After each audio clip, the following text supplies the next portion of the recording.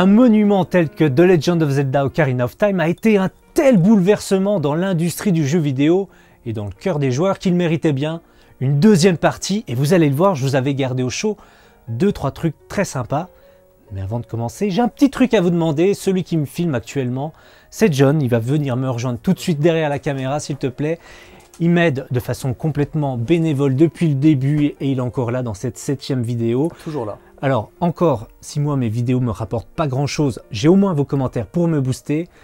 Mais lui, ça lui apporte pas grand chose. Alors je vais vous demander un petit service, c'est d'être un peu curieux et d'aller voir sa chaîne également parce qu'il mérite bien plus de vues. Et si vous aimez un tant soit peu le voyage, le Japon ou même Nintendo, je pense que tu vas leur montrer des trucs qui vont leur plaire. Maintenant, retourne derrière la caméra parce que nous, on retourne directement en 1998 pour la sortie d'Ocarina of Time.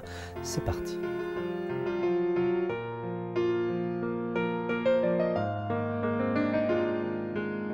La 3D inspire les créateurs et leur permet de faire beaucoup plus de choses. Reprenons depuis le début. Nous sommes en 1998 quand on lance le jeu pour la première fois. Après une cinématique nous mettant dans l'ambiance, on suit la petite fée Navi à travers la forêt Kokiri. Le premier constat, c'est que face à Super Mario 64 et le petit Leikitu qui nous montrait la mini-cour du château de Peach avant d'introduire Mario, c'était très rapide, c'était très court. Ici, les ambitions sont plus grandes. L'histoire prend évidemment plus de place. On débute avec un Link qui se réveille, encore une fois. Ah, la destinée d'Hyrule repose-t-elle sur un garçon aussi paresseux? La caméra est alors placée vue de dessus, comme pour les jeux Zelda précédents, mais cette fois-ci, le décor est plus détaillé et Link est en 3D. Remarquez que quand vous reviendrez chez Link, la vue ne sera plus vue de dessus, même si vous pouvez passer à l'ancienne vue via un petit appui sur ce bouton. On sort de sa cabane, la caméra vous présente les lieux et une amie de Link, Saria.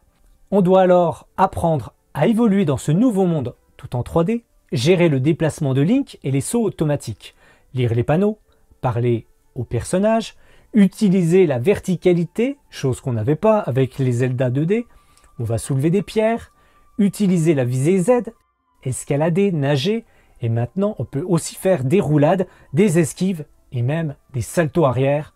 Ça c'est la classe. Link donnait des coups d'épée dans les Zelda en 2D, et depuis Link to the Past, il se mettait même à tournoyer avec l'attaque circulaire. Dorénavant, en plus de tout cela, on peut frapper horizontalement ou verticalement. Et si le Link de A Link to the Past pouvait soulever les panneaux, Ici, il peut les trancher, et aussi bien verticalement que horizontalement.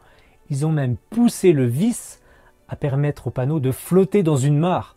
Quand Miyamoto a vu ça, il a éclaté de rire en disant « Ça, c'est The Legend of Zelda !» Et surtout, ce qui va devenir le moyen de locomotion préféré de notre ami Link, les roulades. Ah bah si, avouez, très vite, on se déplace tous comme ça.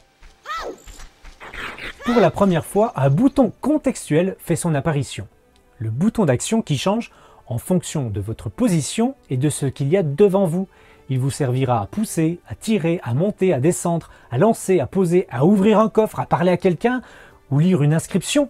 Le bouton se fait très vite naturel et de toute façon on nous indique clairement à l'écran à quoi il sert dans cette situation-là, tout comme les six boutons de face, ce n'est pas très habituel, mais ça va devenir une marque de fabrique des jeux Zelda on nous affiche les six boutons et leurs fonctions sur l'écran. Malgré ça, et j'en connais un qui n'avait pas vraiment compris le concept. N'est-ce pas, Ico? Je n'avais pas tilté que euh, tu pouvais assigner des objets sur la touche C. Ah ouais. Ouais. Et du coup, j'étais bloqué après le temple de, du, de, pardon, de l'arbre Mojo, le premier. Parce que euh, bah, je n'avais pas compris comment est-ce que ça fonctionnait.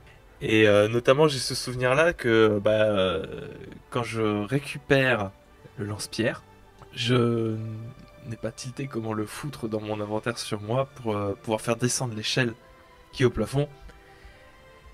Et du coup, je resetais la console pour sortir du, du temple. Et je me disais quand même, euh, c'est bizarre de devoir reset la console à ce moment-là. Ou encore, pareil, toujours dans le même temple, euh, comme, comme j'avais pas réussi à foutre euh, sur certaines parties, genre mon bâton mojo, et que j'avais pas compris que ça pouvait se brûler, il y a un moment, il faut que tu allumes une torche, tu sais, pour sortir de Mhm. la pièce quand tu as récupéré la, la carte. Et, et du coup, pareil, je resetais pour retourner au début du donjon.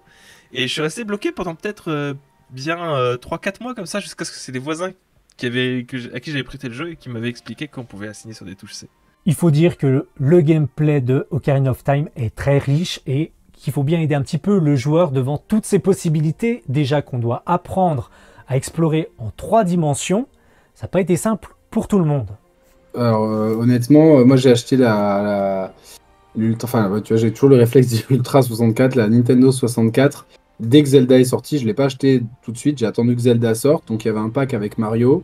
Et j'ai pris le pack avec Mario plus Zelda à côté. Et je t'avoue que c'est les deux seuls jeux que j'ai achetés sur 64. Euh, la première prise en main de Mario, euh, elle a été désastreuse.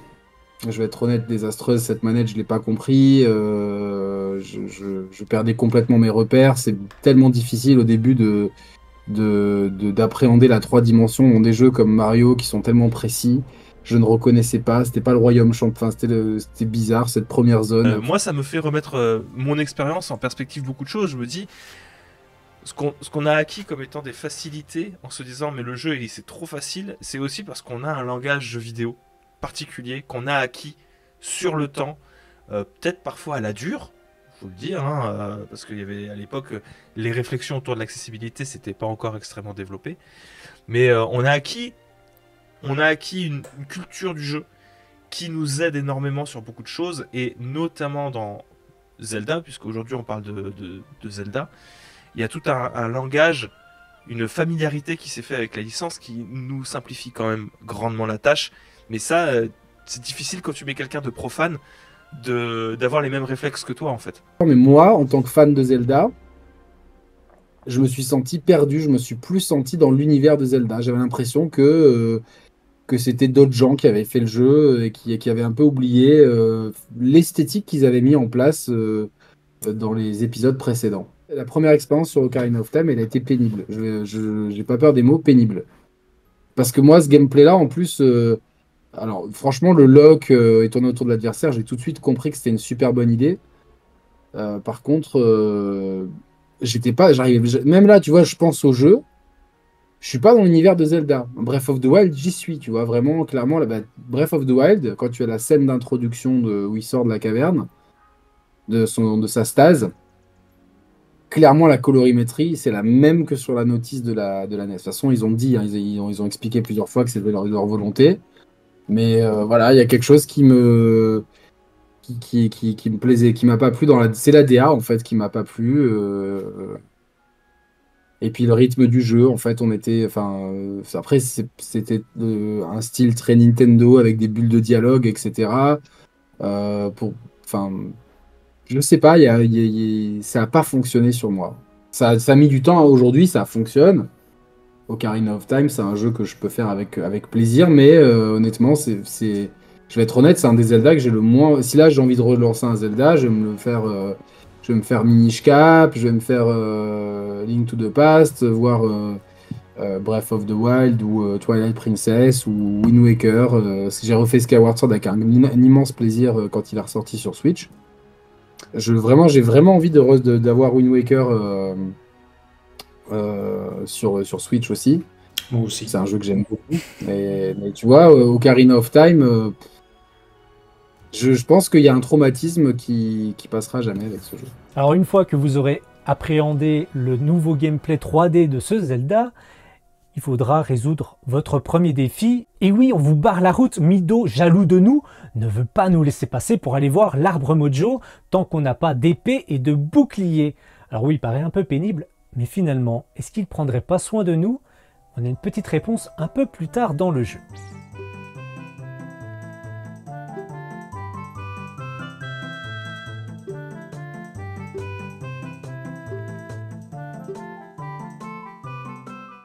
Si vous êtes suffisamment attentif, vous trouverez un passage, un premier obstacle et l'épée Kokiri qu'il vous faudra équiper manuellement.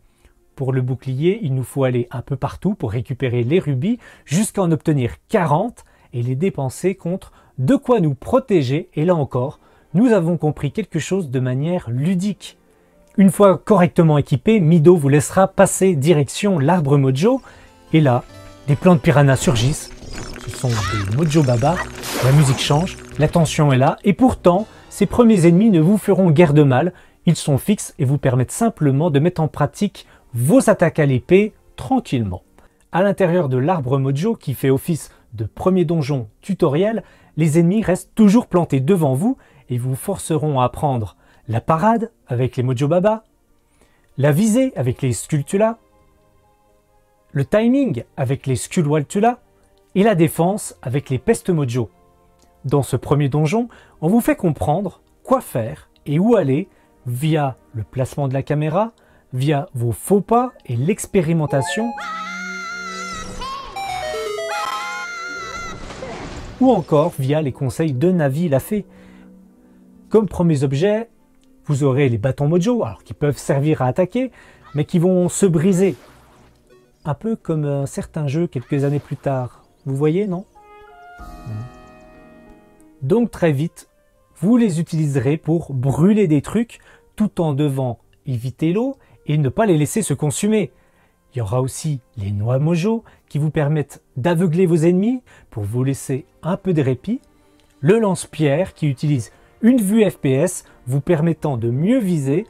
Et enfin, les traditionnels plans du donjon et boussole. À la fin de ce premier mais assez court premier donjon, vous affrontez votre premier boss, Gonma, et puis cinématique. Le côté bon enfant fait place à la tragédie, de quoi vous faire comprendre le poids qui est sur vos épaules. Il vous faut partir à la recherche des autres pierres ancestrales et de la princesse Zelda. Alors direction Hyrule, à peine sorti de la forêt Kokiri, séquence émotion avec Saria qui vous remet l'ocarina et c'est à vous de jouer les notes. Puis c'est la liberté, c'est parti pour la plaine d'Hyrule et ça a marqué les joueurs, ça a été un choc. Je sais que cet Hyrule paraît sans doute ridiculement petit aux yeux des jeunes joueurs, mais à l'époque, c'était vertigineux. Je me souviens que gamin, j'étais sans voix. Alors, c'est difficile de vous retranscrire le sentiment que j'ai éprouvé à ce moment-là, mais j'étais émerveillé et excité à la fois. Et comme on en parlait avec Ico, on avait même peur de se perdre. J'avais peur de me perdre dans la 3D. Genre vraiment, je voyais des images euh, du, euh, du, du, jeu sur des magazines et je j'avais qu'une angoisse, c'était d'être complètement perdu dans le monde parce qu'il y avait trop d'endroits où aller et que je me disais mais c'est quand même dommage parce qu'au moins en 2D bah tu sais où tu dois aller tu vois c'est plat c'est en haut c'est en bas c'est à droite c'est à gauche et puis basta. La première fois qu'on débarque dans la plaine d'Irule t'as le hibou qui vient te dire alors euh, voilà il fait le point t'avais juste envie de lui dire pousse-toi pousse-toi je veux voir ce qui se passe oui, en plus, tu sais, c'est ultra. Euh, je suis désolé hein, de te couper, mais en plus, c'est ultra. Ils sont ultra pervers parce que le hibou, tu peux le passer sa, discussion super vite et de base, quand il te demande est-ce que tu veux que je répète tout ça, de base, le curseur il est placé sur le oui. Et même si tu appuies sur B, réflexe que tu as pour, pour annuler maintenant, en fait, non, ça valide quand même euh, le, oui. Donc tu te retapes la discussion. Et après, tu vois cette plaine d'irule immense. Et puis à l'époque, c'était vraiment immense. Quoi. Et là, pareil, j'ai dit, mais vais me perdre. Ça me parle.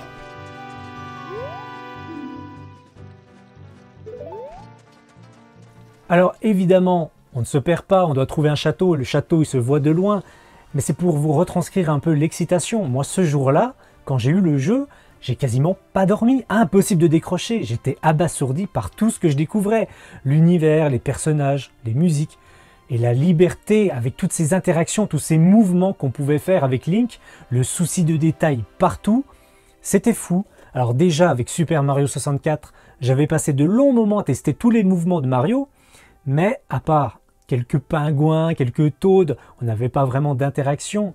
Je me souviens qu'à un moment donné, il y a une ville sous-marine complètement déserte qui m'avait fait dire que ce serait génial de se balader dans un village comme ça en 3D. Et là, avec ce Zelda, je me rends compte que c'est tout ce dont je rêvais, et même plus. C'est un Zelda qui pousse l'interactivité encore plus loin, et avec ces deux jeux, j'ai réalisé qu'avec la 3D, rien ne serait plus comme avant. D'ailleurs, l'équipe de développement avait vraiment l'impression que tout était possible avec la Nintendo 64. Et eh bien, c'est exactement ce sentiment qu'on avait gamin en jouant à ces jeux.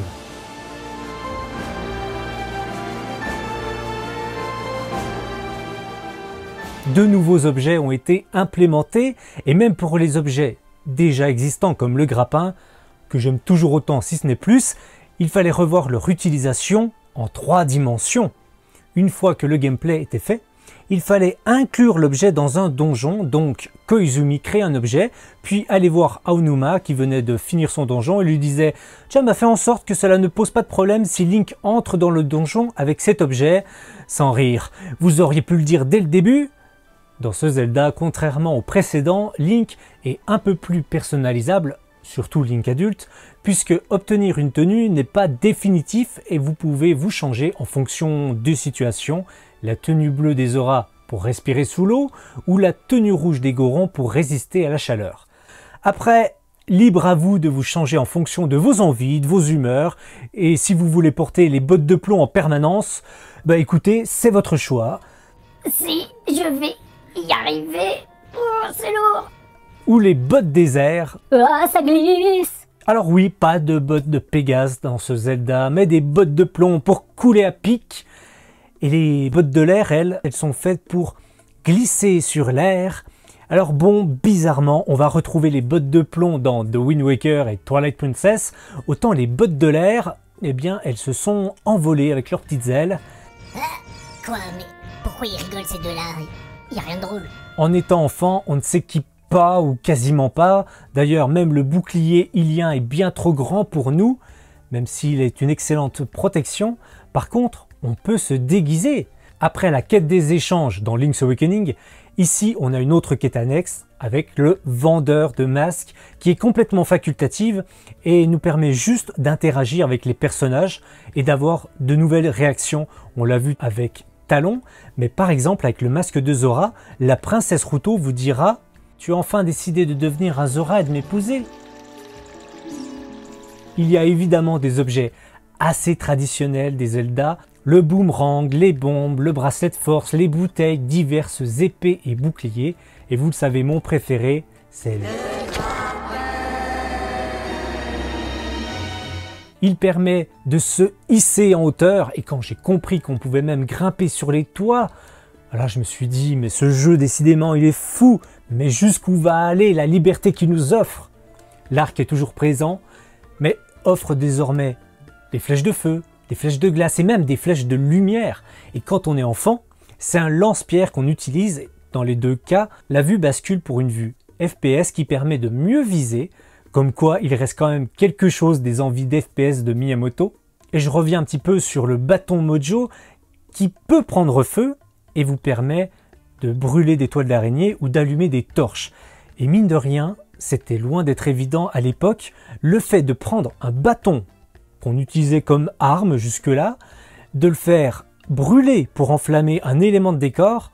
Alors aujourd'hui, on l'a vu plein de fois, mais là, quand on réalisait qu'on pouvait faire ça, dans un jeu, c'était fou. Et quand on se rend compte qu'on peut tirer à l'arc à travers les flammes pour que notre flèche prenne feu et s'enflamme vers une torche plus loin, alors là...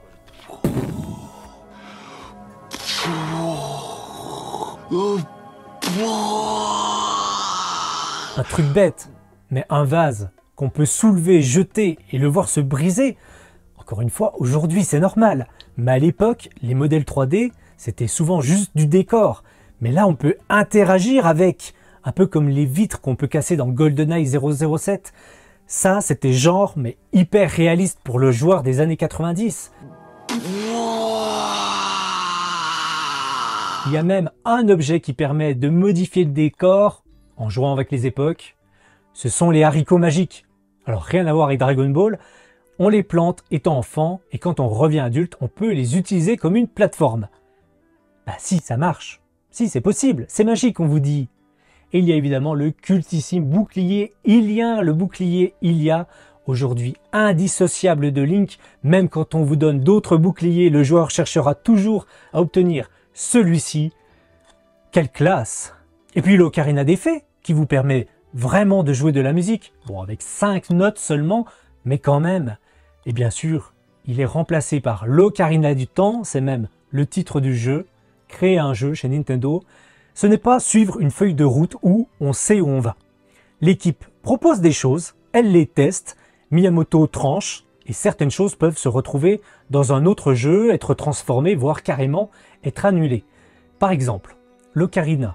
Dès le début, il voulait qu'on puisse vraiment jouer les notes de l'ocarina. C'est bien gentil, mais ensuite il faut trouver une utilisation à cela. Et vous vous êtes peut-être étonné que le jeu vous montre 6 médaillons, mais qu'en fait, on est seulement 3 pouvoirs dans le jeu, surtout si vous avez joué à Link to the Past auparavant. Il était bien prévu d'avoir 6 pouvoirs dans le jeu à la base, mais Miyamoto n'a pas trouvé ça marquant, il a trouvé que ça fonctionnait mieux sous forme d'objets ou de chansons à l'ocarina. Alors, des 6 chansons de départ, ce sont 13 chansons qui se sont retrouvées incorporées au final. Quant aux 3 pouvoirs restants, pour que cela colle au jeu, ils porteront le nom des 3 déesses, le feu de Din, le vent de Faror et l'amour de Nairu. Et petit aparté, vous remarquerez si vous êtes attentif que les trous de l'ocarina correspondent aux touches de la manette Nintendo 64. Eh oui.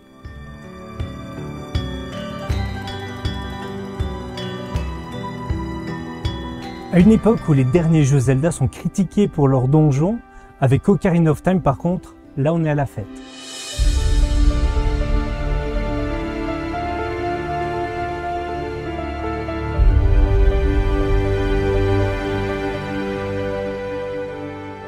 Enfant, vous commencerez avec trois petits donjons, histoire de vous faire la main, à commencer par l'arbre mojo, j'en ai déjà parlé.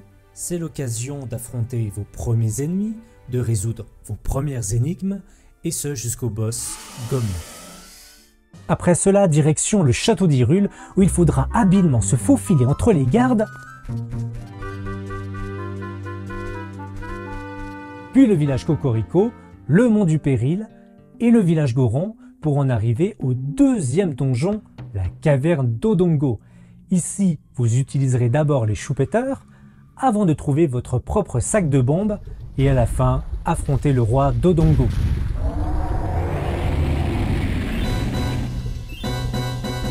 Allez, direction le troisième donjon en remontant la rivière jusqu'au domaine Zora.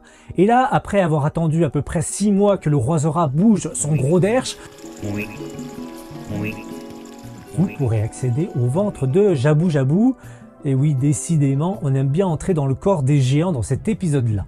Là, vous gagnerez le boomerang, vous gérerez les interrupteurs et jusqu'au boss, Barinade. Après votre passage dans le temple du temps, Link est désormais adulte.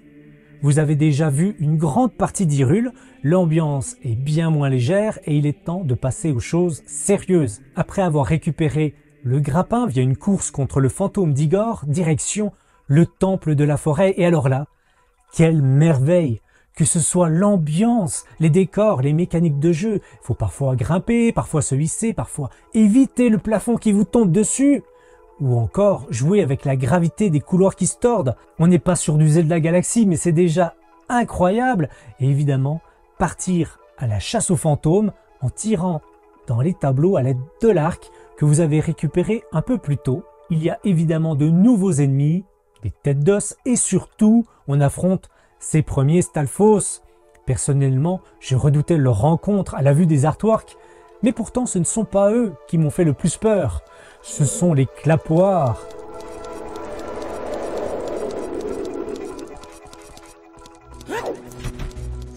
Mais ce n'est pas tout, quand vous arrivez à la fin du donjon, Ganondorf vous attend. Vous n'imaginez pas ma surprise, gamin. Quoi déjà? Non, évidemment que non. Il va montrer son vrai visage et c'est Ganon spectral sur son destrier qui passe de tableau en tableau. C'était fou, c'était du jamais vu. Une fois encore, j'ai envie de vous dire. Mais bon, allez, on se calme et on passe au Temple du Feu, non sans avoir acquis une nouvelle tenue qui vous permettra de résister aux fortes chaleurs que l'on arrive à ressentir grâce à la qualité de la réalisation. On se faufile dans un labyrinthe et progressivement on doit libérer les Gorons que Ganondorf a emprisonnés. Récupérer la masse des titans jusqu'à affronter le boss Volcania, un terrible dragon.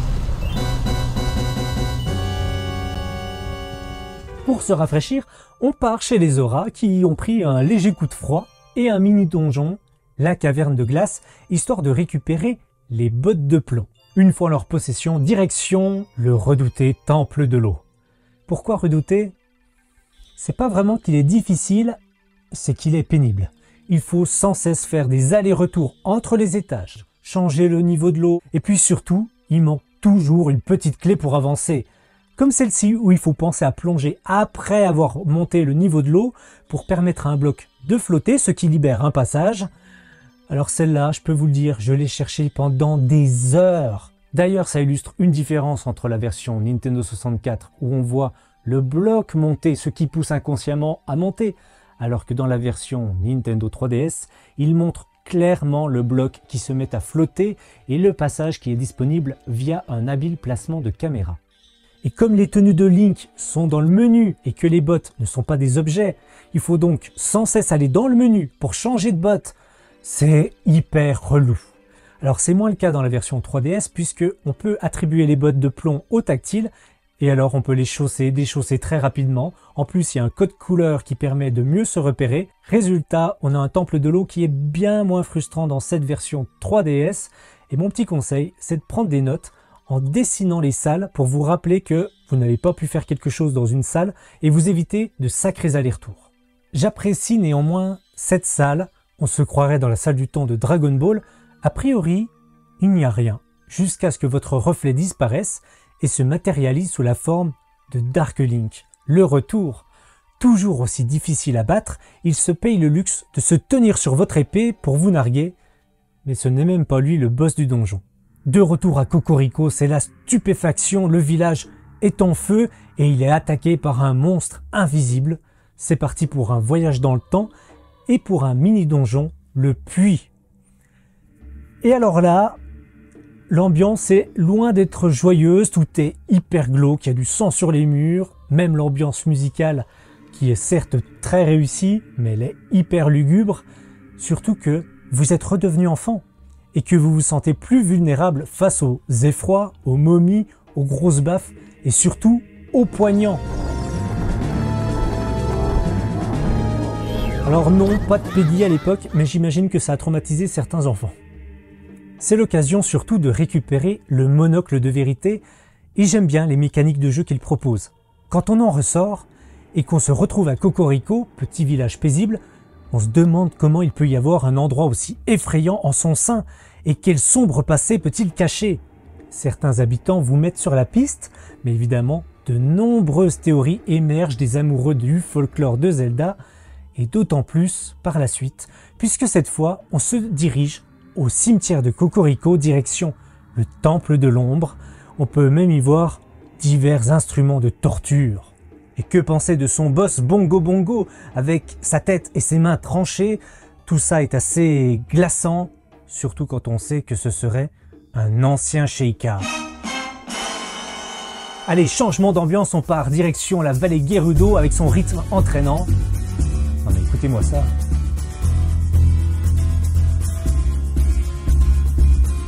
Je suis Darunia ou quoi? Une fois arrivé à la forteresse Gerudo, il vous faudra délivrer les ouvriers qui ont tenté de fuir leurs tâches, mais l'accueil des Gerudo envers les hommes n'est pas des plus chaleureux. Une fois votre valeur prouvée, on vous laissera vous balader librement et même aller dans le désert jusqu'au temple de l'esprit. Alors là, si vous aimez un tant soit peu l'Égypte ancienne, quel plaisir de découvrir ce temple au milieu du désert qui se parcourt en deux parties. La première partie avec Link enfant et vous y reviendrez une deuxième fois avec Link adulte, jusqu'au boss final mémorable, les sœurs Kume et Kotake, qui finissent par fusionner pour devenir Twin Rova.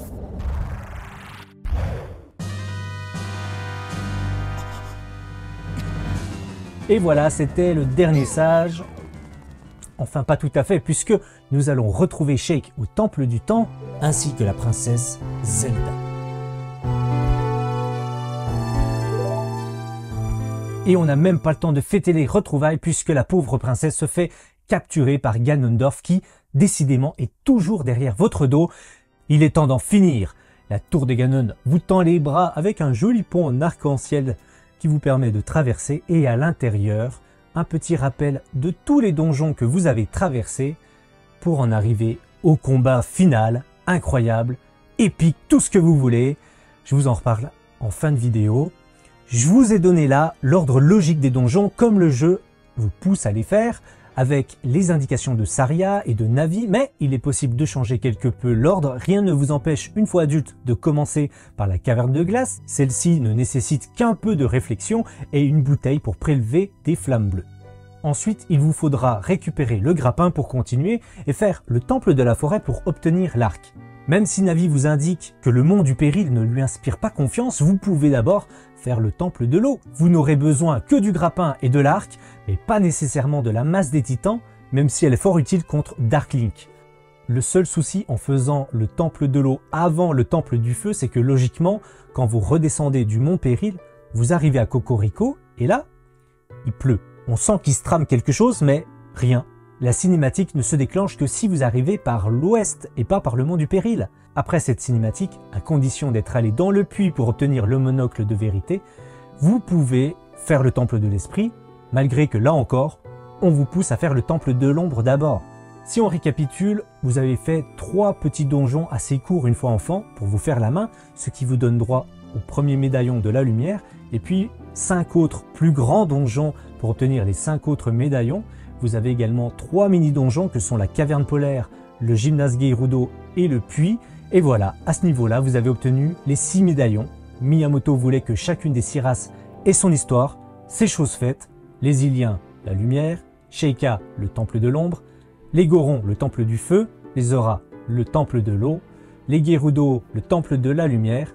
Et enfin les Kokiri, le temple de la forêt.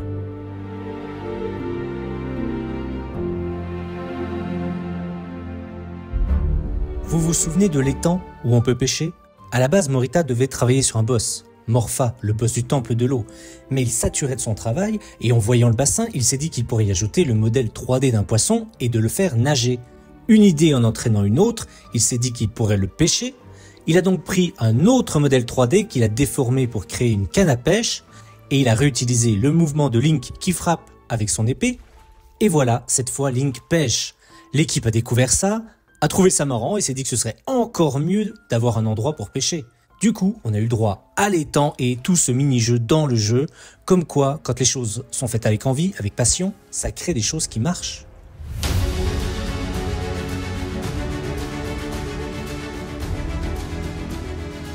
L'univers d'un jeu vidéo ne se limite pas seulement à des graphismes et à des mécaniques de jeu, mais il englobe aussi sa bande sonore. C'est la musique qui va permettre de décupler la puissance émotionnelle d'une œuvre.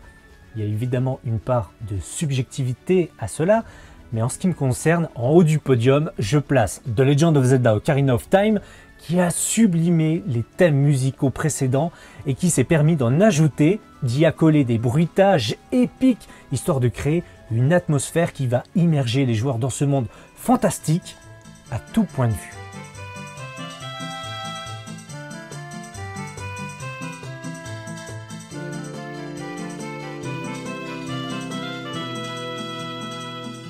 Les musiques chez Nintendo ont toujours été importantes et on se souvient tous des musiques des jeux Super Mario, Kirby, Donkey Kong, Pokémon ou Zelda. Shigeru Miyamoto y a accordé de l'importance dès le début de sa carrière. Il est lui-même guitariste et grand amateur de banjo. Non, pas banjo kazooie, banjo.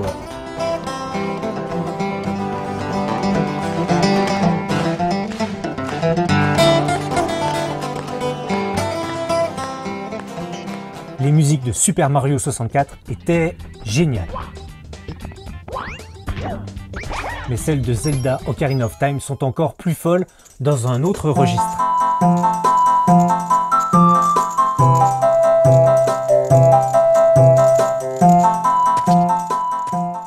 Les musiques dans le jeu, elles sont juste incroyables. Je pense que c'est mes musiques de jeux vidéo préférées.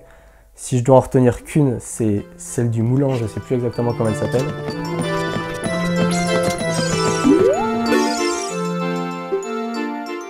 Mais elle est incroyable. C'est ma musique préférée de tout Zelda confondu, avec la musique de Mercantile. Mais j'adore cette musique, j'adore toutes les musiques. Le plaisir voilà, de l'ocarina, de pouvoir jouer ce qu'on voulait. La musique aide beaucoup euh, aussi, parce que la musique de ce Zelda-là en particulier, il y a... enfin, c'est que des bangers quoi, tout du long, la, musique des bois perdus. Euh, la musique des Gerudo, évidemment, euh, qui est juste incroyable.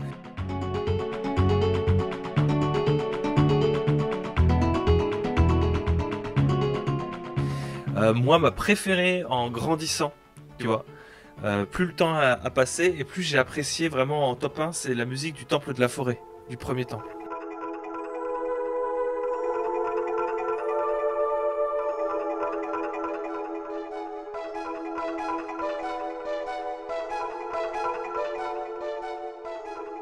Je trouve juste incroyable euh, le côté mystérieux, euh, un peu fantomatique, un peu esprit de la forêt. C'est le premier jeu pour lequel j'ai eu un CD de la bande originale et je l'écoutais très souvent. J'ai même fait l'erreur de programmer mon réveil sur la musique de la plaine d'Irule. Alors c'est sûr qu'elle est très adaptée au réveil, seulement très vite. J'ai associé cette musique avec le réveil pénible pour aller au collège. Alors j'ai dû changer parce que sinon j'aurais fini par détester la musique. Tout va bien, j'ai arrêté à temps, je l'adore toujours autant.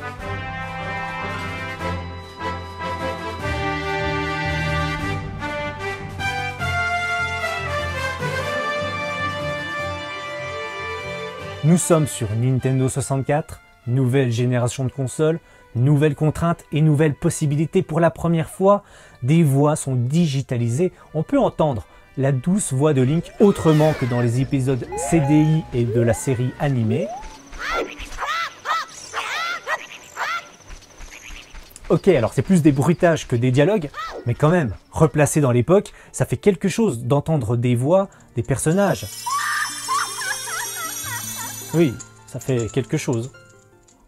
Par contre, on reste sur support cartouche. Autant les concurrents de l'époque, que sont la PlayStation de Sony ou la Saturn de Sega, sont passés au CD, autant chez Nintendo, on reste sur cartouche. Et je me suis rendu compte qu'en fait, j'avais jamais fait Ocarina of Time au casque. Ouais. Et euh, l'ambiance sonore, sonore m'a m'a- m'a vraiment déconcerté. Je me suis dit, putain, mais en fait, j'ai- j'essaie de couper le son et c'était plus pareil. Quoi. Il y avait plus de, il y avait plus cette ambiance. Ils ont vraiment fait un taf euh, incroyable. quoi. Enfin, Et sur une cartouche, quoi, euh, qui a pas beaucoup de mémoire. Euh, c'est aussi une, prouesse technique euh, en soi.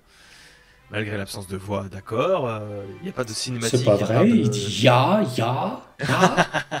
il parle beaucoup. Il parlait Ya. et c'est la première fois qu'il. Navi, Qui watch now, Watch out. listen. D'ailleurs, il n'y a pas de processeur pour le son dans la console, tout est dans la cartouche. Tous les fichiers de son sont lus avec tout le reste. Donc si vous lancez trop de musique et de son en même temps, ce sera au détriment de tout le reste et vous risquez les bugs et les ralentissements. En revanche, il y a un avantage avec la cartouche, on n'a aucun temps de chargement. Pour la première fois, les sons étaient randomisables. Donc vous aurez aléatoirement des variantes de son pour les différentes actions, histoire de ne pas avoir toujours les mêmes bruitages quand vous répétez une action comme de frapper à l'épée. Et ça va encore plus loin. La musique change en fonction de la situation. Phase calme ou de combat,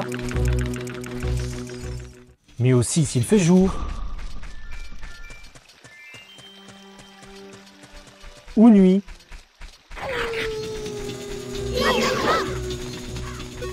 C'est normal, la plaine d'Hyrule est le hub central du jeu, et si vous aviez entendu encore et toujours la même musique sans variation, vous vous seriez lassé de l'entendre.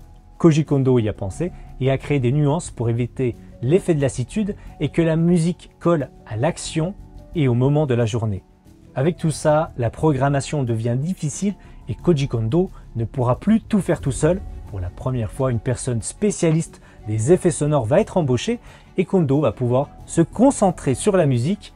Et là, pour le coup, Koji Kondo a été libre. Il n'a eu que très peu de directives, il s'est concentré sur les ambiances propres à chaque lieu. Il est assez fier des musiques courtes, la cour du château d'Hyrule,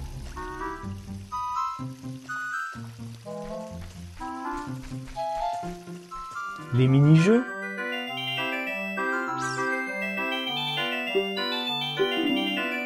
et celle de la boutique des potions.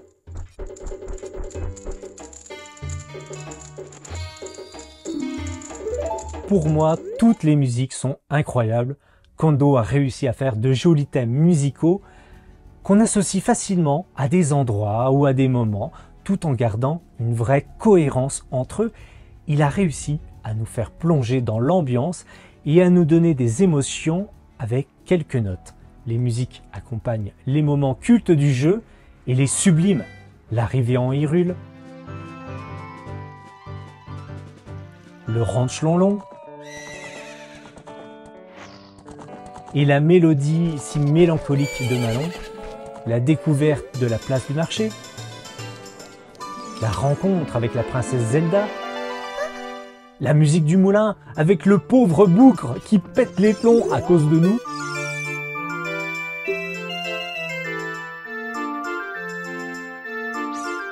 Alors, ça vous a mis les poils?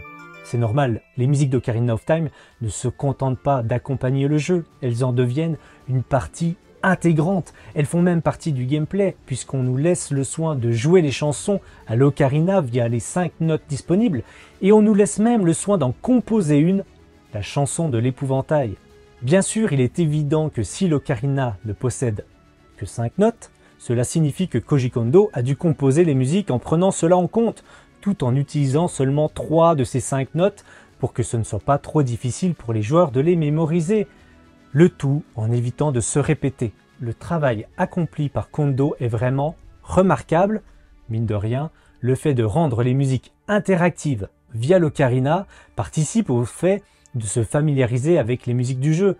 Elle reste une référence qui nous a émerveillés et qui nous a d'autant plus surpris qu'il fait partie des derniers Zelda sortis avant l'ère d'Internet. Et pour nous, simples joueurs des années 90, la preview d'un jeu, c'était via magazine. Et non, ça ne produit pas de son. On se contentait de se délecter des quelques photos d'écran qu'on nous montrait. Et rien que ça, ça suffisait à faire monter l'excitation auprès des joueurs. Et il a eu le temps de monter cette excitation puisqu'il s'est fait attendre, ce Zelda.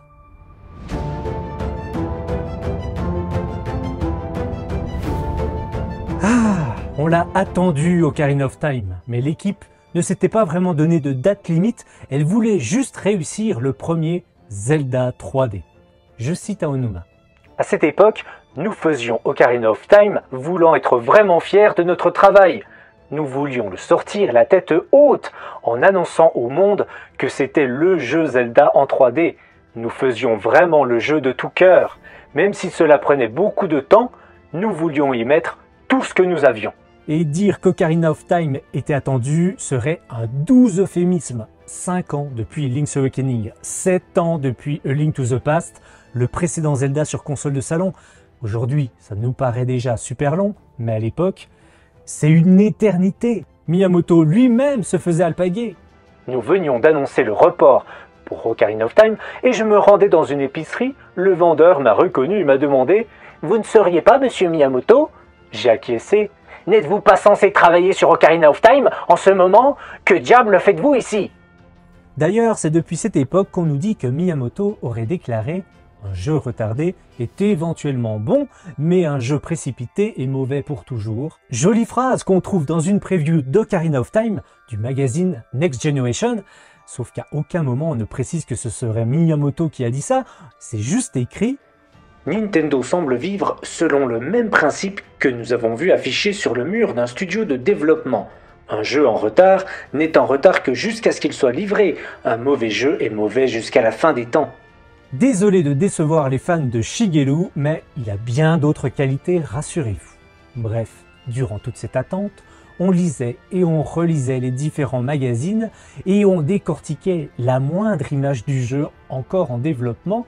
Et vous pouvez jouer au jeu des 7 erreurs avec un Link qui a les manches brunes, le bouclier avec une grosse Triforce bien moins élégant que le bouclier ilien final, Cocorico qui est bien moins vallonné, les Stalfos qui font moins peur que dans leur version définitive, même chose pour les Octorok qui ressemblaient à leur version Game Boy, Epona c'est pas Epona, ce serait plutôt éponyme. Quant au décor, ils avaient l'air assez vides, ils sont bien plus détaillés au final. Dans les différentes vidéos de présentation du jeu, on peut y voir que Link devait y trouver la Triforce, ce qui nous a valu des légendes urbaines dans les cours de récré, les mêmes que Luigi qu'on pouvait soi-disant incarner dans Mario 64, Mew qui se cacherait derrière un camion dans Pokémon Rouge et Bleu, ou le code secret pour voir Lara Croft toute nue Quoi Non mais attendez, on n'était pas aidé avec la presse de l'époque aussi. Le magazine EGM avait fait un poisson d'avril en nous faisant croire qu'on pouvait débloquer un certain Shenglong dans Street Fighter 2, ou même chez nous, Joypad, qui nous montre à quoi devait ressembler la jaquette de Zelda 64. Bah oui, en fait, c'est juste celle du premier Zelda sur Famicom Disk System où ils ont rajouté Nintendo 64. Pourquoi faire ça? Alors que la jaquette finale est d'une sobriété, mais d'une classe indéniable, malheureusement la cartouche n'est pas dorée, elle est toute grise comparée à celle de Majora's Mask. Pourtant, il existe une version dorée, c'est une version collector sortie uniquement aux États-Unis et en Australie. Et la plus belle version, c'est la version 3DS, également sortie en Australie. Je suis assez jaloux. Jaloux aussi des Suédois qui ont le droit à ce pack-là. Regardez-moi ça. Un pack collector qui n'est pas sorti chez nous. Et enfin, la plus belle version, alors selon moi c'est subjectif, c'est la version japonaise avec son superbe visuel, son livret et les partitions avec les petits stickers qu'on va venir coller sur ces partitions au fur et à mesure qu'on apprend les musiques dans le jeu. C'est top nous avons tout de même eu le droit à cette version de la Nintendo 3DS Collector simple et épurée, bien sympa, en tout cas plus sympa que la Nintendo 2DS verte sortie aux États-Unis. Fin de la partie sur les différentes versions, je vous disais donc que le jeu a été énormément attendu et certains ont même perdu patience. On n'a que des petits morceaux d'images dans des magazines, évidemment on était très curieux, mais ça semblait tellement loin à l'époque quand on est ado, quelques mois, même une année de d'écart on n'a pas la communication d'aujourd'hui. Donc je l'attendais, euh, évidemment, euh, comme tout Zelda, je m'étais dit, mais, mais euh, à force d'attendre, tu sais, il y a un peu un côté déceptif. Enfin, pas déceptif, mais un côté de lassitude, voilà. Un côté de lassitude, il y en aura le bol d'attendre. et à côté de ça, en fait, le jeu vidéo se modernise à fond avec la PlayStation. Mais pour la plupart des gens dont je fais partie, eh bien, nous avons tenu bon et heureusement pour nous, l'attente ne fut pas vaine.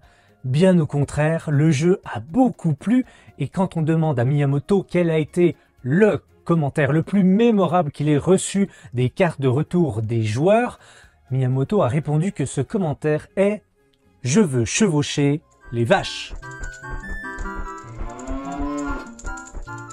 Et l'ancien président de Nintendo, Satoru Iwata, a même déclaré qu'il avait personnellement l'impression qu'Ocarina of Time a solidement défini l'essence de Zelda. Et c'est pas rien parce que ce sont de gros changements qui ont été opérés avec ce Zelda-là. Et je me souviens d'un ami qui à l'époque m'avait dit que pour lui c'était juste a Link to the Past, mais en 3D, et que c'était celui-là qui était la vraie pierre angulaire de la saga, et pas Ocarina of Time. Alors, je comprends, je comprends. Après, depuis, on se parle plus, hein, mais je comprends. non, mais il avait en partie raison. Hein, mais je trouve que de dire ça, c'est de fermer les yeux sur un tas d'éléments. Alors évidemment, la 3D, c'est un gros morceau, le gameplay qui va avec aussi, mais il y a également l'histoire, les personnages, les peuples, tout cet univers qui est redéfini, et Pona, la pêche, et tout ça, et tout ça. Alors, ce fameux pote, quand il m'a dit qu'il avait été déçu d'Ocarina of Time, je l'ai regardé avec des yeux ronds, je comprenais pas vraiment comment on pouvait rester de marbre face à une telle révolution, et dire qu'il n'est pas le seul. J'ai pas trouvé mon compte, même là, quand j'y pense, tu vois, je me j'ai toujours un sentiment amer avec ce jeu, tu vois. Genre, euh, j'ai pas autant, euh, je faisais tout à 100% dans les anciens Zelda et tout. Je j'arrive pas. En fait, c'est des jeux où quand je m'approprie pas les lieux, quand je m'y sens pas bien, là, je trouvais jamais mon repère en fait. Je n'étais bien nulle part.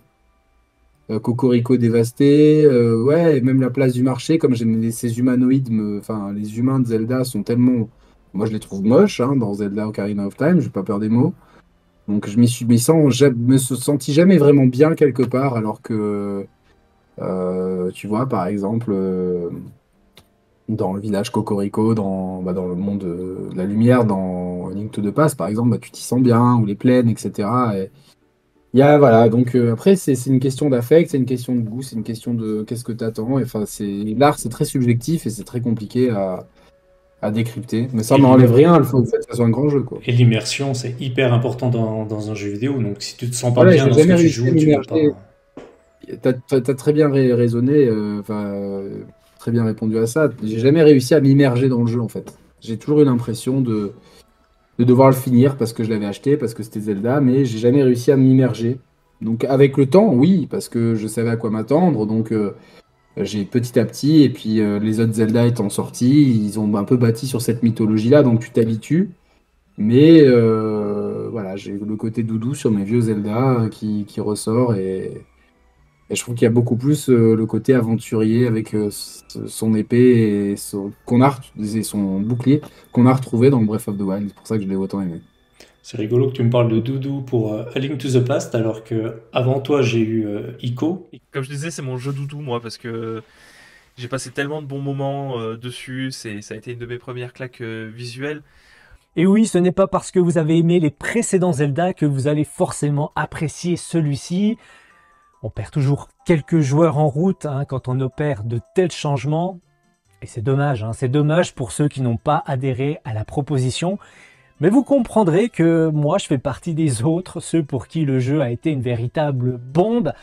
Parce que oui, le jeu a été un carton critique et commercial. Selon le journal Le Monde, la cassette vidéo sortie en France le 12 décembre était introuvable quelques jours plus tard. 80 000 exemplaires avaient été vendus la première journée, plus de 200 000 avant Noël. Habituellement, il faut de 6 mois à 1 an à un hit pour franchir le cap des 250 000 ventes. Certains auront d'ailleurs su tirer profit de la pénurie alors que le jeu était annoncé à 429 francs prix public. Certains revendeurs le proposaient à 590 francs d'autres le réservaient aux acheteurs de la console Nintendo 64. Il fait donc partie des jeux Zelda les plus vendus. Et pour vendre, on fait de la pub.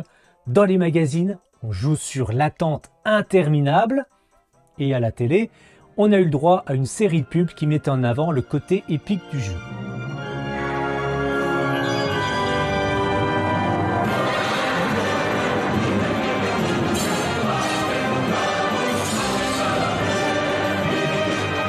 Même une pub de Quick avec Bruno Salomon et Jean Dujardin qui jouent à Zelda. Toute une époque. Il y a plein de cadeaux à gagner. Des consoles Nintendo 64, des Game Boy Color, des jeux Zelda. Si j'ai plus là. Ah, t'es plus là.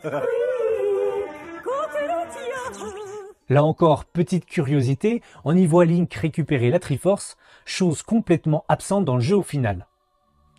Pour la sortie sur 3DS en 2011, ce seront Robin Williams et sa fille Zelda Williams jouant sur l'amour de la série du père qui a nommé sa fille en référence à notre saga. Une pub touchante, surtout aujourd'hui. 1998 au Japon, là aussi la pub est sérieuse, on comprend qu'on est sur une autre ambiance avec ce Zelda.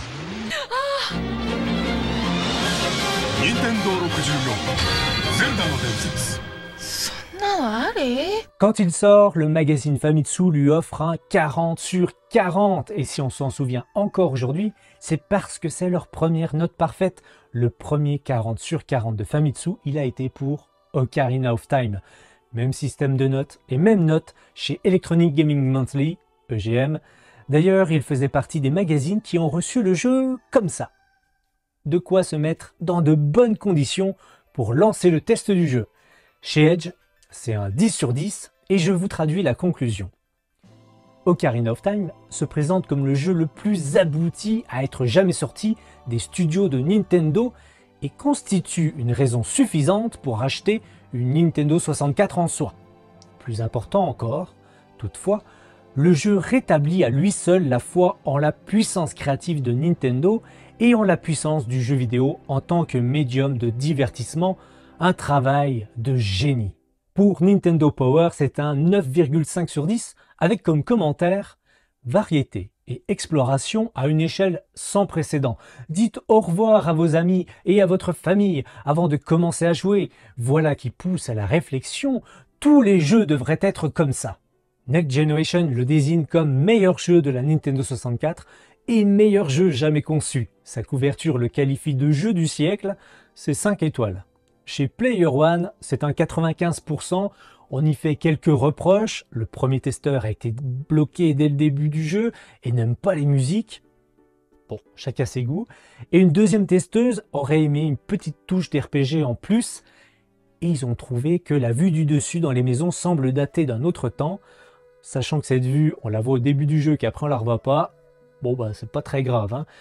Et pour le reste du test, rassurez-vous, ils ont adoré dans le magazine officiel Nintendo qui est juste là, Eh bien, c'est carrément un 105%. C'est marrant parce qu'il nous floute la princesse Zelda pour ne pas nous gâcher la surprise, alors que trois pages auparavant, il nous la montrait en artwork. Bref, le premier testeur dit Bon, autant être franc, je ne vois pas de défaut. Ok, et le deuxième testeur le qualifie de grandiose. Le meilleur jeu de ce millénaire est arrivé.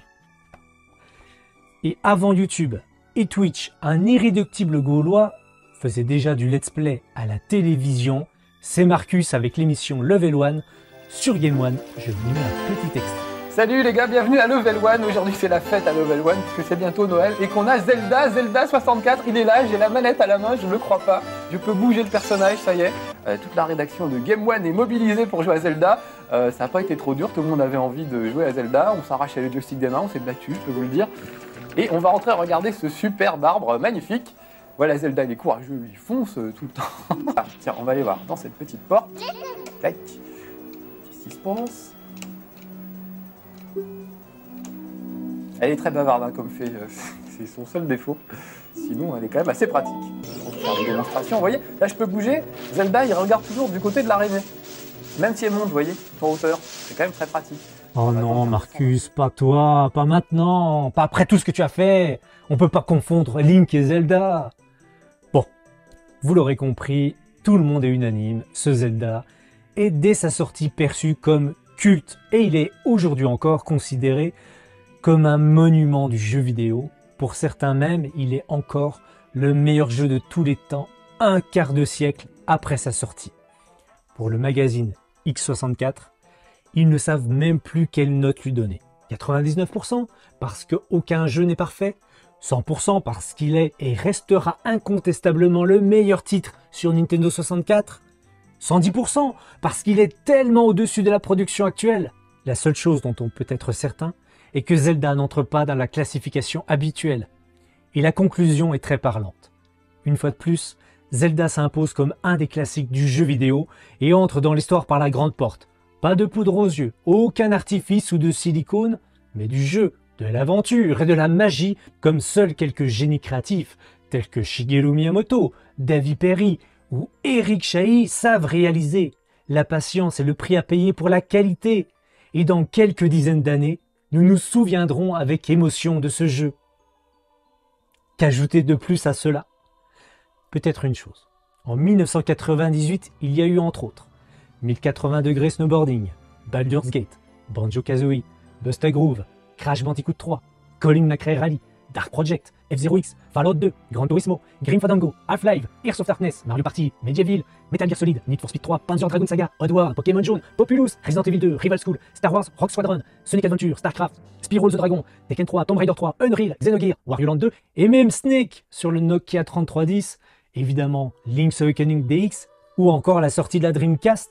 Et encore je vous en passe si on doit élire la meilleure année du jeu vidéo 1998, elle est facile dans le top 3. Et pourtant, parmi tout ça, un jeu a réussi à tirer son épingle du jeu, c'est Ocarina of Time.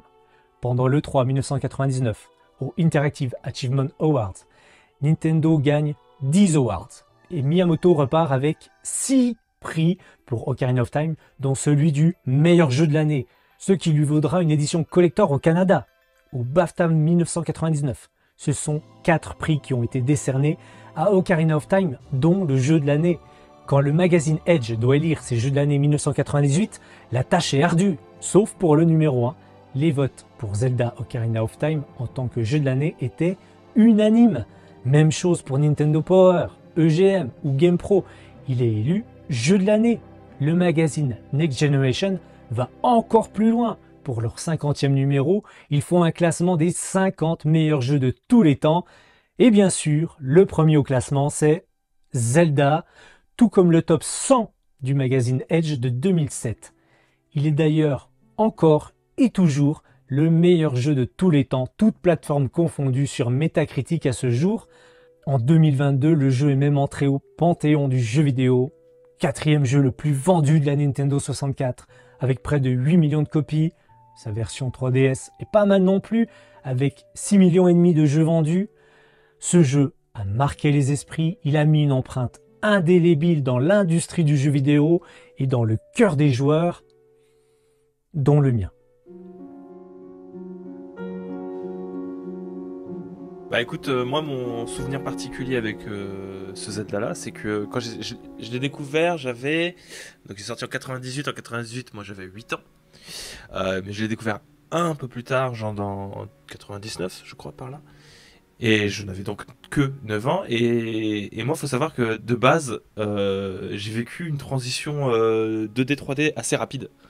Euh, dans la mesure où je ne jouais bah, jusqu'à 98-99 que aux jeux vidéo euh, 2D. Parce que j'avais une Super Nintendo et on voulait pas m'acheter autre chose qu'une Super Nintendo avec des jeux Super Nintendo. Donc, c'était Super Mario All Star, c'était Zelda 3, etc. Et malgré tout, j'avais une petite appréhension à, à passer au Zelda 3D, notamment. Enfin, à l'époque, c'était sur- surtout Super Mario 64 qui me faisait peur, mais euh, Zelda, euh, je t'expliquerai après pourquoi est-ce que ça m'a fait peur aussi euh, et quelles appréhensions j'avais. J'avais peur de me perdre dans la 3D. Genre, vraiment, je voyais des images euh, du, euh, du, de- du jeu sur des magazines et je j'avais qu'une angoisse, c'était d'être complètement perdu dans le monde parce qu'il y avait trop d'endroits où aller et que euh, je me disais mais c'est quand même dommage parce qu'au moins en 2D bah tu sais où tu dois aller, tu vois, c'est plat, c'est en haut, c'est en bas, c'est à droite, c'est à gauche et puis basta. Et là, Et, ça euh, t'a fait alors- peur. Là, ça m'a fait peur, ouais, quand j'étais petit. Et j'ai gardé ce sentiment-là de ça me fait peur. Mais des moments qui me font peur dans le jeu, il y en a, il y en a plein d'autres en vrai. hein. Ouais, la scène qui m'a marqué, c'est quand on voit la fuite de Zelda à cheval. On sent qu'il y a un côté dramatique euh, et très sombre au jeu.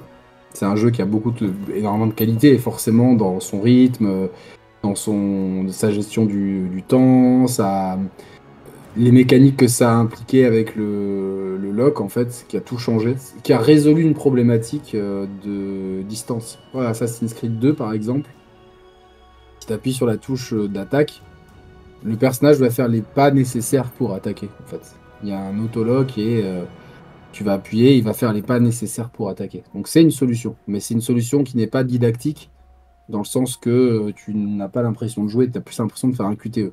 Avec le, le- lock, donc inventé euh, des années avant Assassin's Creed 2 bien sûr, bah forcément tu, tu vas tourner autour de l'adversaire, euh, naturellement ça va te donner un point d'ancrage, et tu vas pouvoir gérer ta distance, et euh, gérer donc euh, la no- s'il y, a- distance à gérer, il y a forcément notion de hitbox euh, et de hurtbox à gérer. Et ça, euh, c'était très compliqué avec la 3D, parce qu'on peut vite taper à côté, forcément. Et, là, en fait, en ayant le lock, on est sûr que euh, quand on avance, eh ben, on avance vers l'adversaire et pas euh, à, à 10 mètres à côté. Donc euh, ça, c'était, ça, j'ai trouvé ça génial à l'époque. Je me suis dit, ça, ça manquait dans les jeux PlayStation, tu vois. Non seulement sur la saga Zelda, mais sur le jeu vidéo qui sont qui est, qui est indéniable. L'héritage, il est, énorme. Bien sûr, et c'est c'est bien des fois de prendre du recul et de retrouver, dire ah oui, en fait, sans ça, on n'aurait pas eu ça, et, et c'est assez incroyable en fait euh, ce qu'ils ont réussi à faire pour l'époque. Euh, je me souviens euh, du combat final contre Ganondorf, incroyable avec cette tour, tout ça, mais je me souviens être émerveillé à chaque découverte de, tous les éléments qu'il y a, de, tous les donjons, de- des différents univers finalement, de, des Gorons, des Auras, de, la forêt Kokiri, des autres personnages, de, Malon, du château, tout ça de Zelda. Chaque, étape, c'était vraiment un plaisir quand on récupérait Epona. Et voilà, qu'on, je passer des heures à galoper dans la plaine d'Hyrule sans rien faire, mais c'était juste un plaisir quoi, de, vivre cette aventure à travers Link. Et puis, euh, ouais, vraiment l'impression d'être, ce personnage et de, vivre intensément tout ce qui, tout ce qu'il vivait.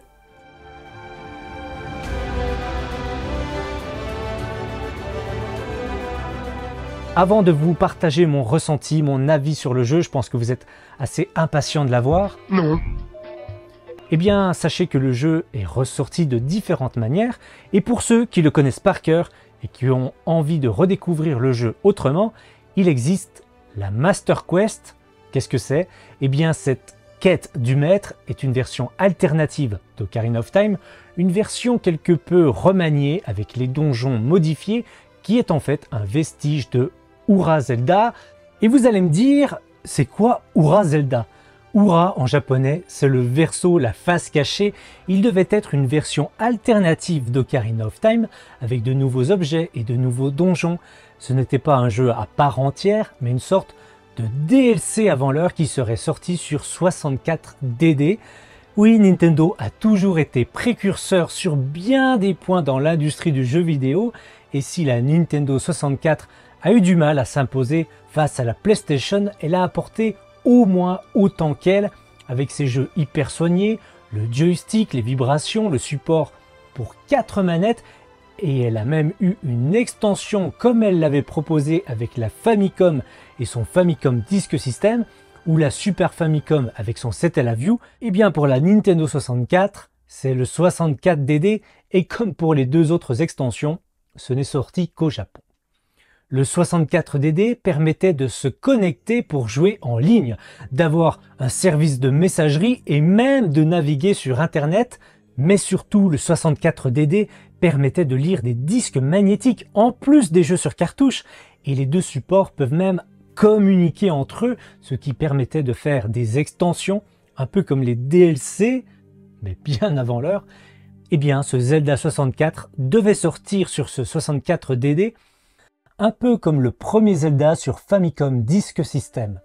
Miyamoto voulait même qu'on puisse voir toutes les empreintes de pas de Link, mais pour des contraintes physiques du disque magnétique sur le 64DD, ça ne fonctionnait pas et Link ne pouvait même plus se déplacer. La suite, vous la connaissez, Ocarina of Time est sortie en cartouche normale, mais l'idée d'étendre le jeu grâce au support 64DD est restée envisagée c'est d'ailleurs le cas du jeu F0X qui a eu le droit à son extension, ce qui permettait d'ajouter, en plus du contenu de la cartouche originale, 12 nouvelles pistes, un éditeur de voitures et un créateur de circuits. Pour Zelda, ça devait être une grosse extension, avec de nouveaux donjons et de nouveaux objets. Sauf que quand Miyamoto a demandé à Eiji Onuma, qui s'occupait alors des donjons, de les refaire, forcément, il n'était pas très emballé. Il avait déjà fait de son mieux pour ceux déjà existants. Il était en train de faire de nouveaux donjons et c'était quand même plus intéressant. Alors, il a pris son courage à deux mains et allait demander l'autorisation à Miyamoto de plutôt faire un autre jeu. Nom de code Zelda Gaiden. Il y a alors deux projets Zelda en cours. Ura Zelda et Zelda Gaiden. Et finalement, Miyamoto finit par s'intéresser davantage à Zelda Gaiden Tant pis pour Ura Zelda. De toute façon, le 64DD a été un échec. Il n'y a eu que 7 jeux, dont 3 Mario Artistes et une extension. Quant à Zelda Gaiden, eh bien c'est devenu Majora's Mask. La PlayStation 2 et la GameCube arrivent. Ura Zelda ne sortira jamais en l'état, mais sera tout de même réutilisé pour donner la Master Quest présent dans le portage d'Ocarina of Time sorti sur GameCube, présent dans le collector de The Wind Waker. Alors on est loin de la version qu'on nous a promise avec Ura Zelda, puisque c'est en fait juste une version plus difficile d'Ocarina of Time, avec notamment les donjons remaniés ou les sculptuladors qui ont été déplacés. Et enfin, sachez que cette Master Quest est disponible dans la version 3D du jeu, dont je ne vous ai pas encore parlé.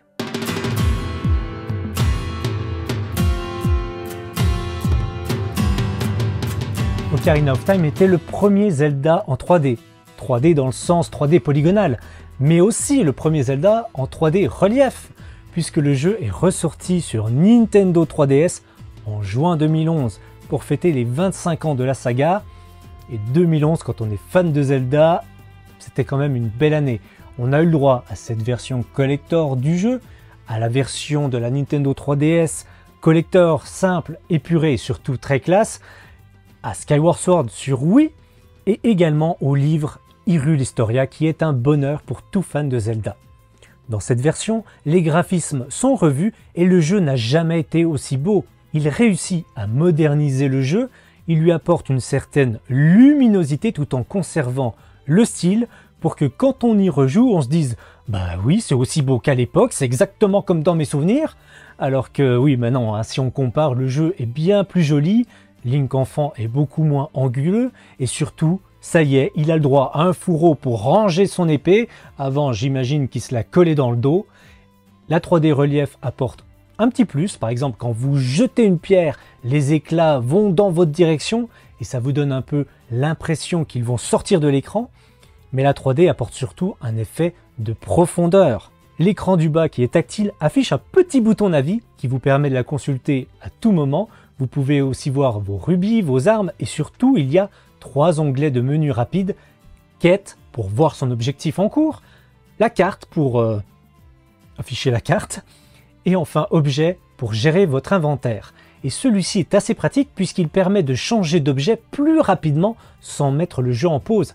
C'est quand même plus agréable dans le temple de l'eau où on doit constamment chausser et déchausser les bottes de plomb. Le temple de l'eau qui a été corrigé légèrement avec les petits codes couleurs pour mieux se repérer, avec les panneaux qui indiquent clairement que ça permet de changer le niveau de l'eau, ou par exemple cette sculpture-là cachée derrière cette grille. Déjà, il faut voir qu'il y a un interrupteur derrière, et même si vous l'avez vu, il faut penser à faire une attaque sautée pour arriver à le frapper. C'est pas très intuitif.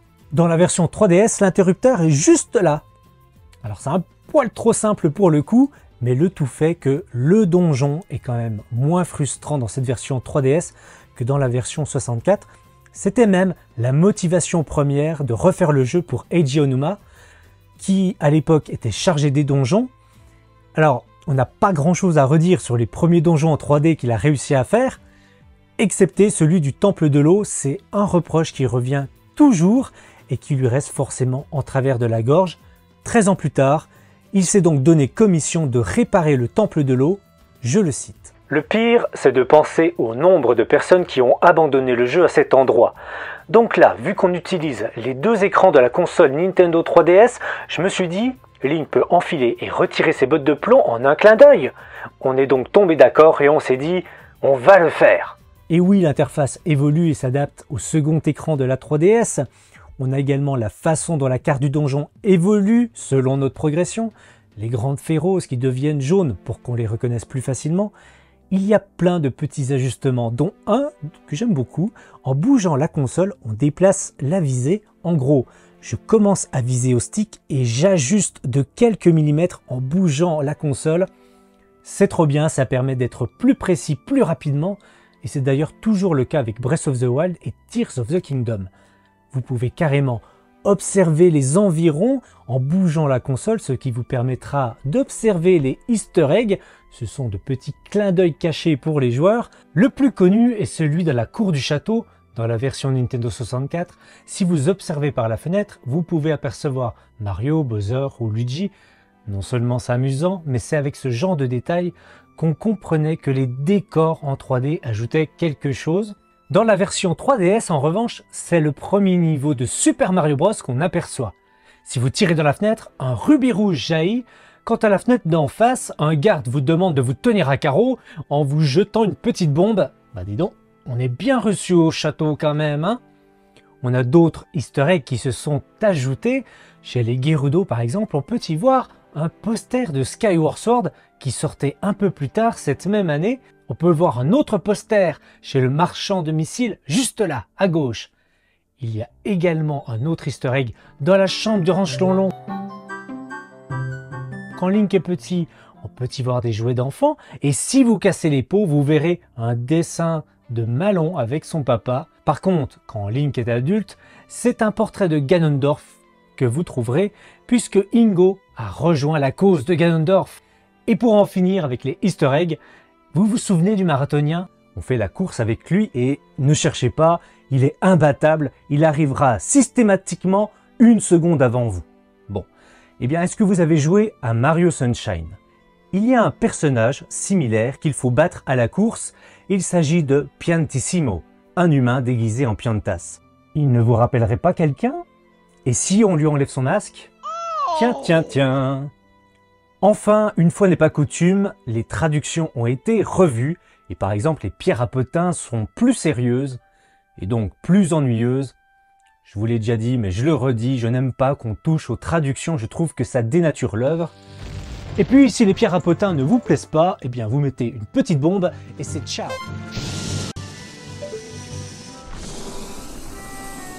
D'ailleurs, en plus des pierres à potins, il y a deux pierres Sheikah qui viennent aider les joueurs encore faut-il penser à y aller, quant à la pierre de souffrance qui nécessitait le Rumble Pack afin de vous donner une petite vibration quand il y avait un secret, ici c'est remplacé par un icône à l'écran qui clignote dès qu'on s'approche d'un élément spécial. Je vous ai parlé de la Master Quest. Elle est disponible dès que vous terminez le jeu, et il y a également un mode Boss Challenge qui vous permet d'affronter à nouveau les boss, voire tous les boss d'affilée. Pour cela, il vous suffit de retourner chez vous et de piquer un petit somme. Tout cela c'est bien gentil, mais ressortir un jeu comme ça 13 ans plus tard, gare au coup de vieux. Et malheureusement, quand on rejoue un jeu qu'on a aimé gamin, nos souvenirs ont tendance à le magnifier et y rejouer n'est pas forcément une bonne idée parce que c'est souvent la douche froide. Et ben là, pas du tout. Mais alors pas du tout, j'ai adoré le refaire une nouvelle fois sur 3DS, plus beau partout où je veux, et il ne me reste qu'une seule frustration avec cette petite version, c'est de ne pas pouvoir le mettre sur grand écran comme sur Switch. Le problème, c'est que je suis extrêmement biaisé, si tu veux, parce que j'adore tout de, de, ce jeu. Mhm. J'ai pas forcément envie de le retrouver, parce que je le trouve très bien tel qu'il est dans ma mémoire, euh, et puis mon, mon petit doudou de temps en temps. Ça m'arrive de le refaire très régulièrement. Euh, mais euh, je t'avoue que je serais pas contre peut-être euh, de retrouver la version 3DS euh, un de ces quatre sur un support un peu plus ouais sur Switch par exemple. Bah, j'ai déjà j'ai beaucoup plus apprécié le jeu parce qu'il y avait quelques petites options de confort. Alors, je, je les ai plus en tête, mais je sais qu'il y avait des options de confort comme pour Majora's Mask en fait, que j'ai jamais fini en fait Majora's Mask. À chaque fois j'ai eu des des ouais je sais ouais. C'est le seul mais en fait je me le garde je me le garde j'ai envie qu'il sorte une version Switch. Parce que là oui il y est sur l'online et tout mais j'ai euh, jamais jamais le temps de j'aimerais bien en fait la version 3DS qui est très bien euh, donc euh, et euh, c'est marrant parce que j'ai rangé mes jeux 3DS ce matin donc j'ai- pensé en plus euh, à tout ça. Ouais la version 3DS oui elle est bien. Je pense que même c'est peut-être la meilleure version aujourd'hui clairement. Je le referais bien si par exemple il sortait sur Switch, ou si c'était encore de nouveau remasterisé, parce que ça c'était une version remasterisée aussi, on l'a pas dit, en 3D. Donc s'il sortait sur Switch et j'avais l'occasion d'y jouer sur un autre support, parce que là je pense pas que je rallumerais ma 3DS comme ça, bah j'y rejouerais avec plaisir. Bah oui, parce que cette version, elle est jouable uniquement en console portable, mais moi, c'est sur une grande télé que j'ai envie de le refaire. Alors bon, sur un jeu comme ça, on peut toujours trouver à redire. hein. C'est sûr que si on compare à des jeux plus récents, alors c'est sûr qu'on a fait mieux en termes d'animation depuis, par exemple, ou encore que la plaine d'Hyrule, elle paraît un peu vide et plus petite que dans nos souvenirs. Mais surtout, on a l'impression de jouer une version accélérée du jeu. Alors c'est déjà dû au nombre d'images par seconde, la version N64 tournait seulement à 20 fps et ici le jeu tourne à 30 fps sur 3DS. Forcément quand vous revenez à la vieille version, vous avez l'impression qu'elle tourne au ralenti, mais en plus les textes ont été accélérés et la traduction revue. Encore une fois, hein, les blagues des traducteurs sont passées à la trappe.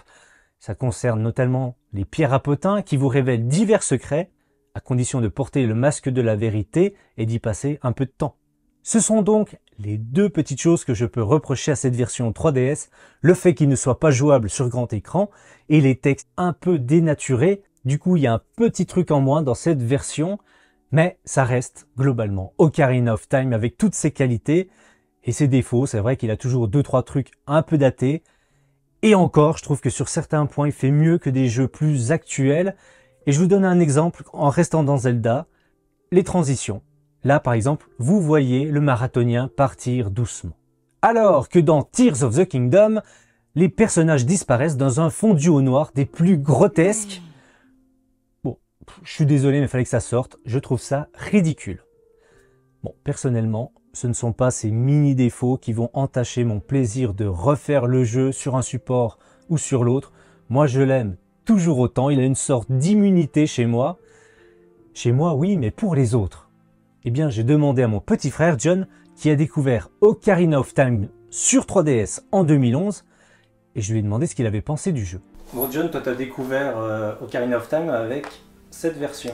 Avec cette version tout à fait, la version 3DS. Et toi, la N64, t'as pas trop touché en fait. J'ai pas trop touché, en fait j'ai- vécu ce jeu à travers toi, parce que euh, on en parlait hier, tu te souvenais pas, mais tu faisais un petit peu tout le...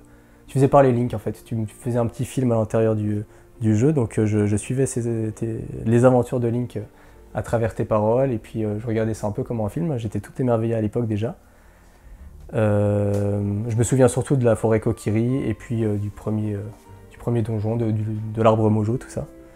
Mais moi, j'y ai vraiment joué à travers cette aventure euh, 3DS.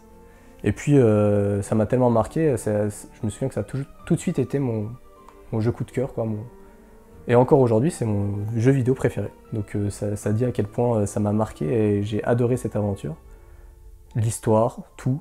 Je me souviens que je lui racontais des histoires d'Ocarina of Time, mais je me souvenais pas du tout que je faisais du roleplay devant lui, ni même qu'on jouait à Zelda ensemble. Mais je suis tout de même retombé sur cette photo, et oui, c'est nous là, et dire qu'aujourd'hui, ils mettent sur les tournages, alors pas spécifiquement aujourd'hui, je suis tout seul, euh, parce que le petit coquin, il est au Japon, Hein, il vous fait des petits vlogs sur sa chaîne YouTube, allez voir, ça vaut le coup d'œil. En effet Yann, je suis en train de préparer un vlog sur euh, le Japon. Je crois que tu kifferais bien ici parce que bah, c'est un petit peu le pays de Nintendo quoi. C'est très très grand et il y a vraiment beaucoup de goodies, Zelda notamment.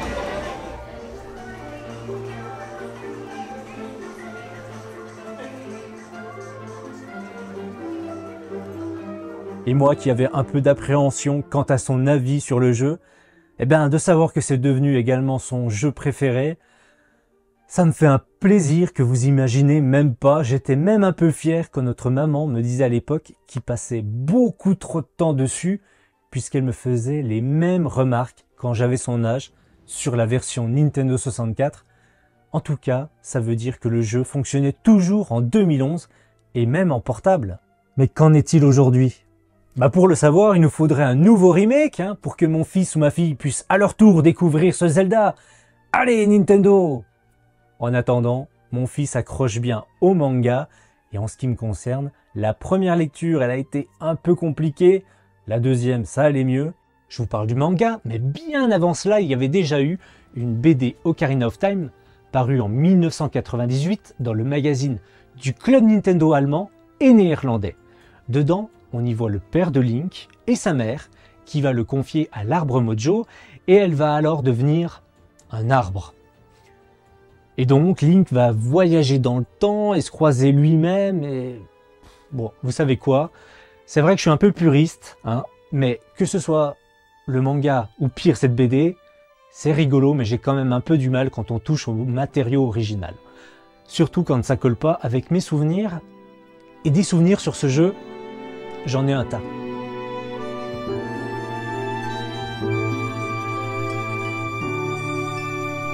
L'Ocarina du temps, le voyage temporel. En voilà une aventure qui m'a marqué à travers le temps.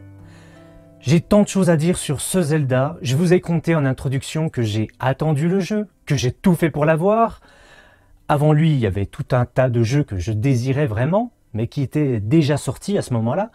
Ocarina of Time est le premier jeu que j'ai attendu. J'ai attendu sa sortie avec impatience et je me suis délecté de chaque nouvelle information. Je pensais à lui sur le chemin du collège, j'en parlais avec les copains, avec mon cousin, et ce souvenir-là, déjà celui-ci, il est très fort chez moi.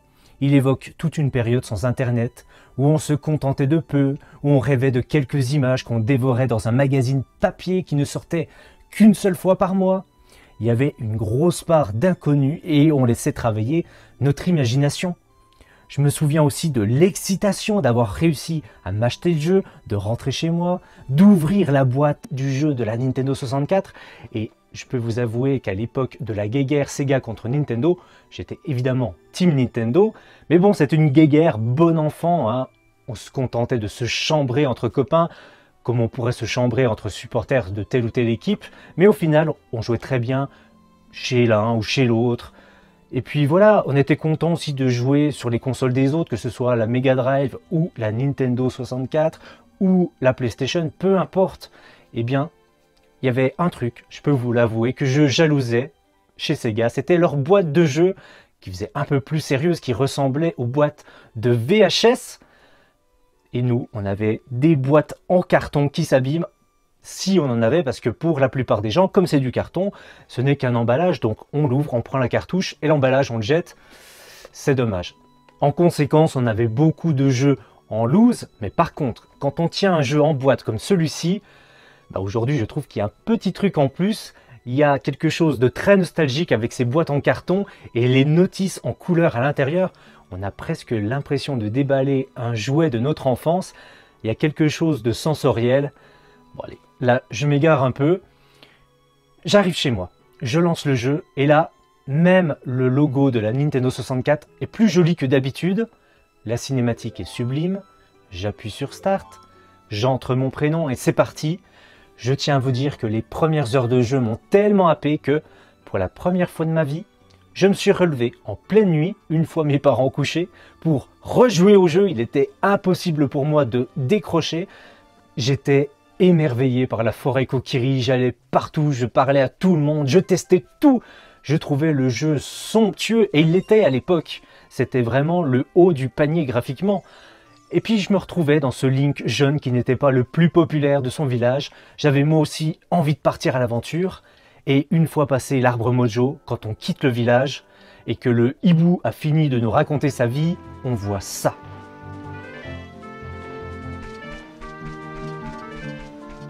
Là, j'ai eu un mélange de vertige et d'émerveillement en voyant ça.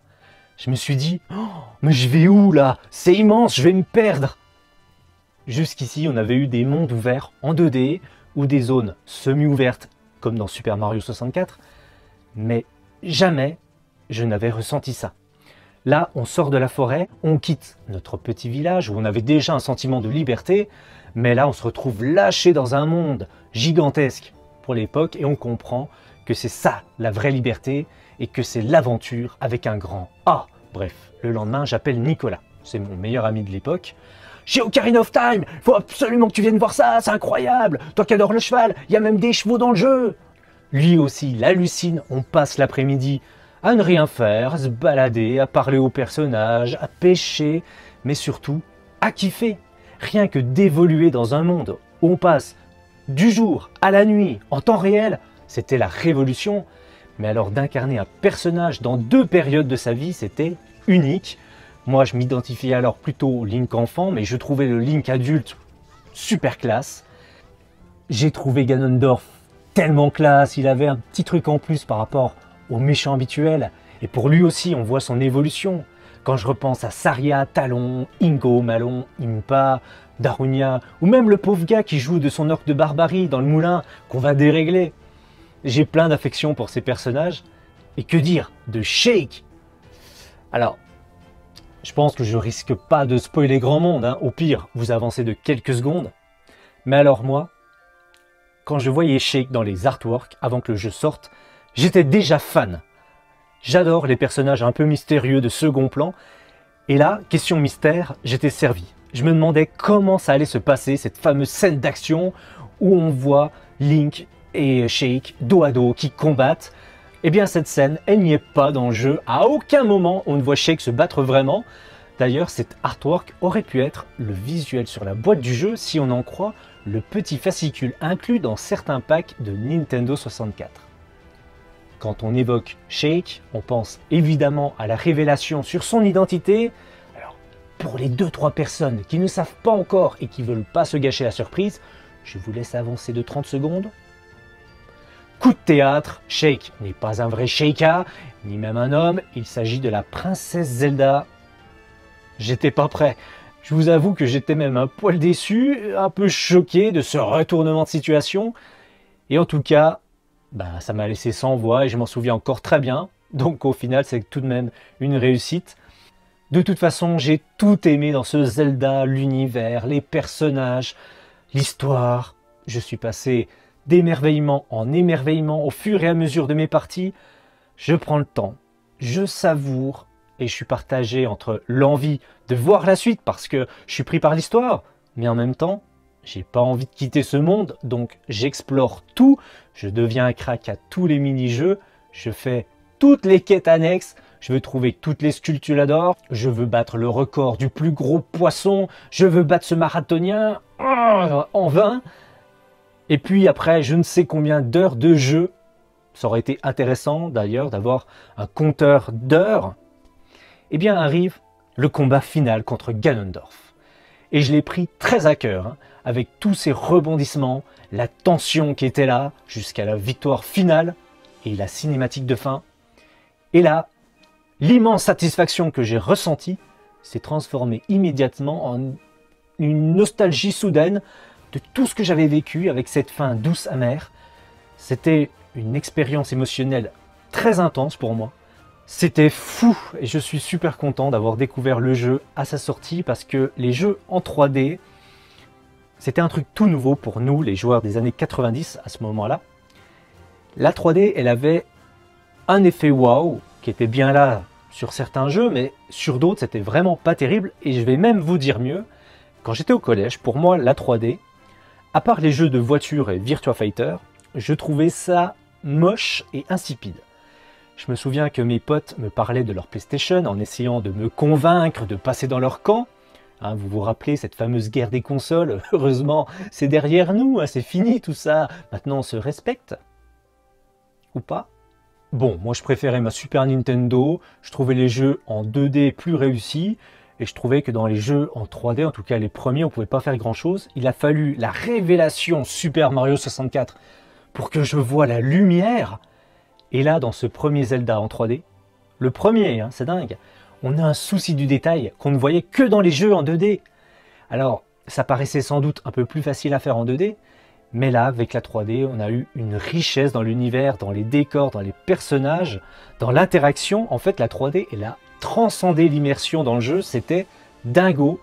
Là, les développeurs, ils ont pu jouer avec la caméra pour nous conter une histoire, pour nous proposer de nouvelles énigmes, et puis aussi en nous mettant des indices subtilement présentés avec un mouvement de caméra, avec des animations qui viennent compléter le tout.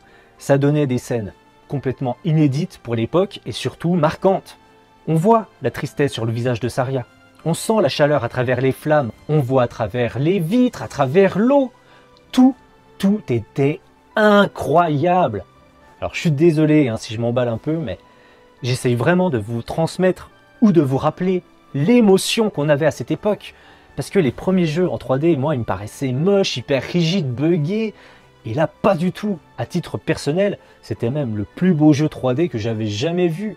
Les animations étaient bien fichues, j'hallucinais sur des détails, du style les personnages qui vous suivent du regard, les expressions de visage, le fait que quand on ne bouge pas, Link s'anime, la physique, par exemple, les blocs de glace qui bougent quand vous sautez dessus, la transparence de l'eau avec le courant, les cascades, la brume qui se crée avec les reflets des flammes dans le domaine Zora, pouvoir enflammer des bâtons ou des flèches, la glace qui fond à la chaleur, le soleil qui se lève et qui se couche en temps réel avec cet effet de lumière qui vous éblouit, et le pont-levis qui se lève et qui se baisse.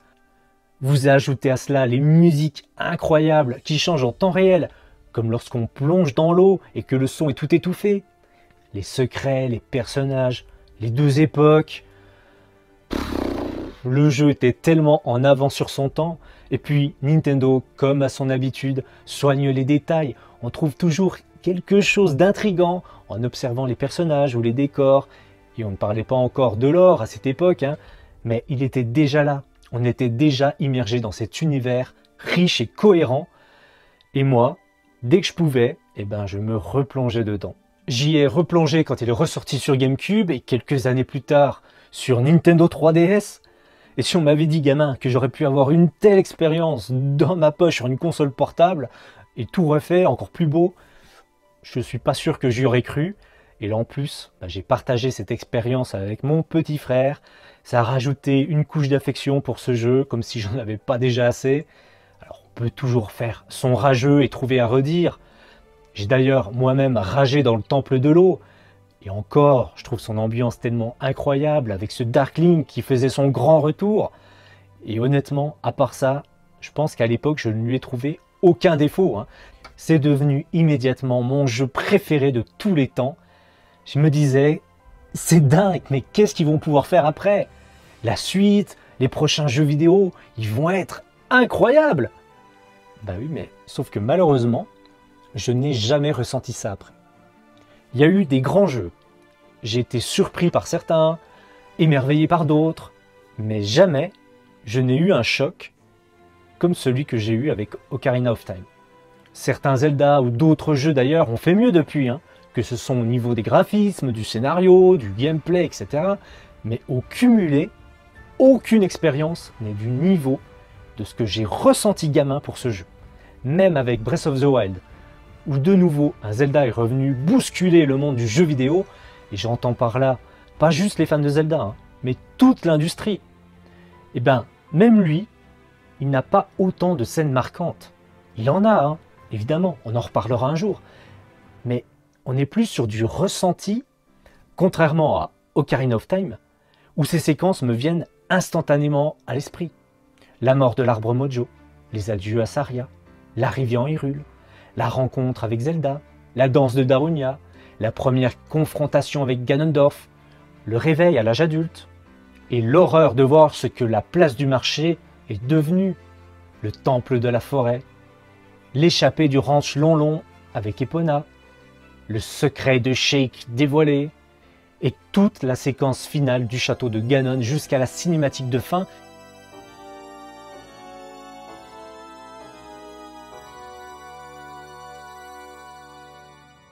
Et là, je ne vous parle même pas des sensations manette en main ou des musiques. Comment est-ce qu'un autre jeu pourrait rivaliser? Ocarina of Time était une révolution à l'époque.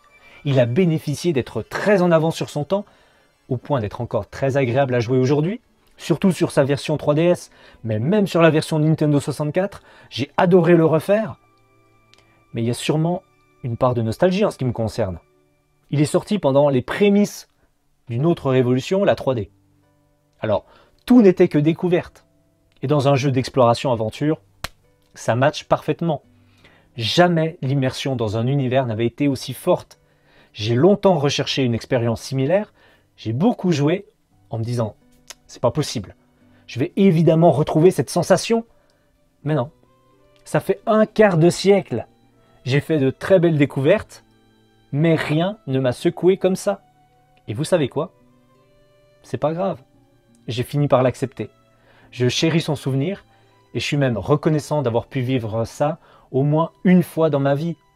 J'ai aimé les autres jeux Zelda, dont on reparlera un jour sans doute, et j'apprécie quand je découvre une nouvelle pépite vidéoludique, le fun d'un Mario Kart, l'ambiance des Uncharted, l'histoire de The Last of Us, le monde de Red Dead Redemption 2, les sensations en réalité virtuelle et toute l'expérience de Breath of the Wild, tout ça c'était extrêmement fort, mais aucun n'a atteint le séisme dans ma vie de joueur que m'a procuré Ocarina of Time. Il y a des moments pas simples dans la vie, et à chacun sa façon de se changer les idées, de s'échapper.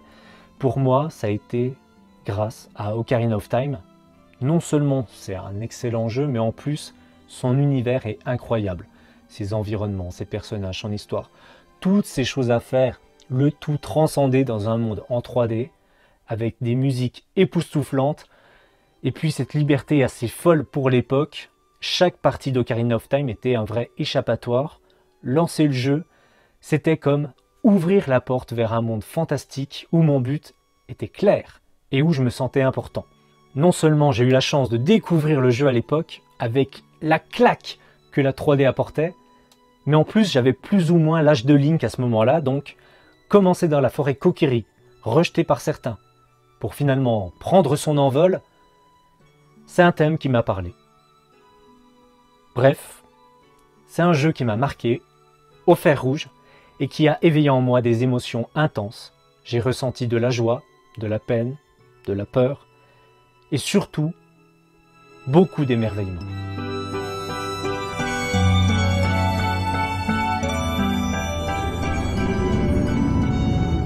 Avant de passer à la suite, je pense que vous l'avez remarqué, mais ces vidéos me demandent beaucoup de travail et donc beaucoup de temps.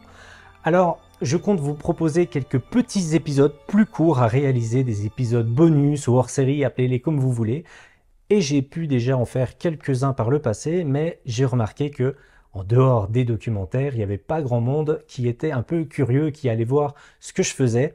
Alors, eh bien, je compte sur votre soutien déjà pour cette vidéo, pour la partager, pour vous abonner, liker. Ça, ça demande juste un petit compte Google, un petit compte YouTube, c'est gratuit. Hein. Et surtout, bah, de vous retrouver dans les commentaires. J'ai hâte de vous lire. On se retrouve bientôt. Et d'ici là, eh ben, à Zelda. Allez, salut